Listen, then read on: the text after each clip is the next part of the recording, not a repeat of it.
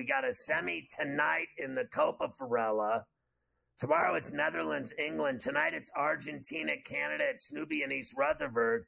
And then uh, tomorrow will be the other semi in the Copa, which is going to be fantastic Uruguay and Colombia. And Colombia has been absolutely kicking everyone's ass.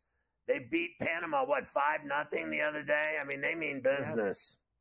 Yeah, that game will be in Charlotte, actually, uh, there at that Bank of America Stadium where the Panthers play, uh, is where the Uruguay Colombia game is going to be tomorrow night. Let me give you the numbers on all this stuff. Netherlands and England tomorrow, of course, we'll be on for it just like we were here for Spain and France as they're kicking off right when we come on the air for Coast to Coast.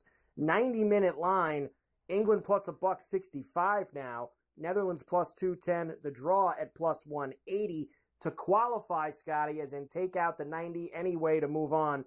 England minus 130 and even money for the Dutch. So, I mean, you tell me. Uh, you know, I guess I'd lean England, but uh, what are you doing here? I lean England as well. Uh, I think they could absolutely lose the game. I know that kind of sounds like I'm hanging on both sides of the wire there, but uh, if I have to go one way, I think I would go England. And if I'm going to go England, I'll take them in the 90 minutes, uh, just like Spain did today, Scotty. I'll take England in the 90 uh, at plus 165. That's where I'll go.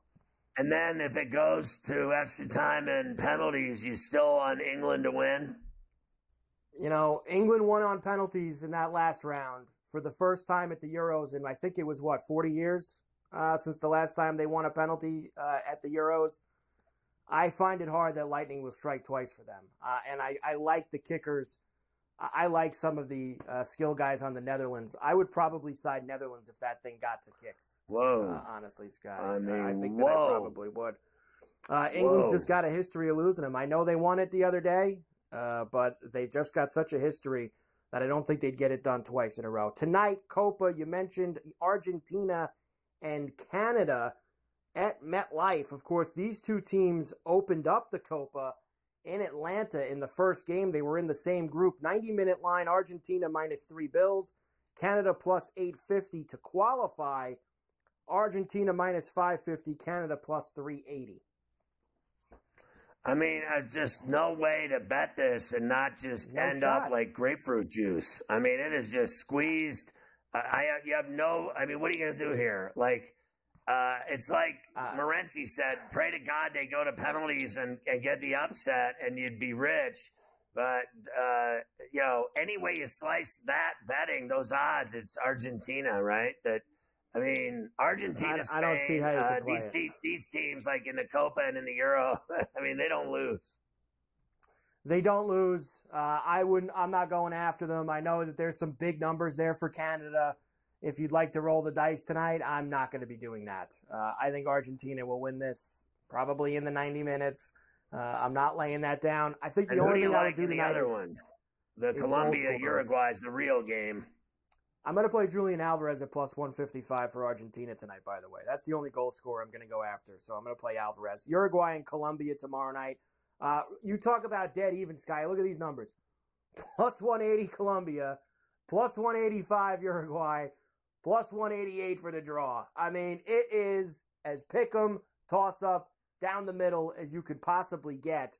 Uh, if you extended that even further and just go to the qualify number, uh, for these two. It's minus 115 both ways. So a true pick 'em in a, true soccer match. I Well, like who do you like? Colombia.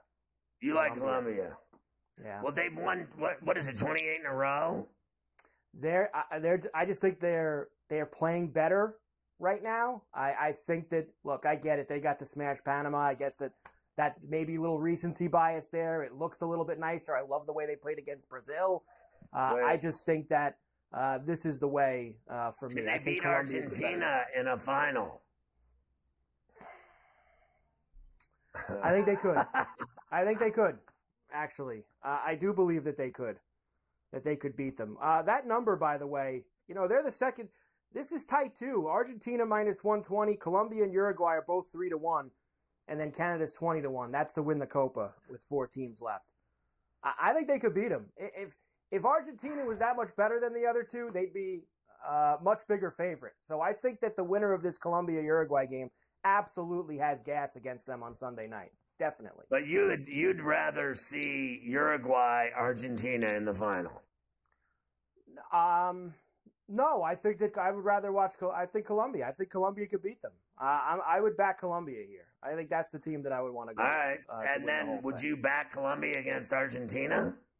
Yes, yes, I would. I, I think that that's they'll be dogs in that game, and I think that they would be uh, live dogs uh, in that match against Argentina. And then uh, if, if, if when Spain is in the final, uh, will they win the Euro against either England or Netherlands? Still Spain. Uh, they just win. They were down one nothing today. It was like nothing even fazed them. They scored too quick, and they're like, and then they just shut them off. They didn't shut them down. They shut them off. It, it would be very hard for me to bet against Spain on Sunday, no matter who they play.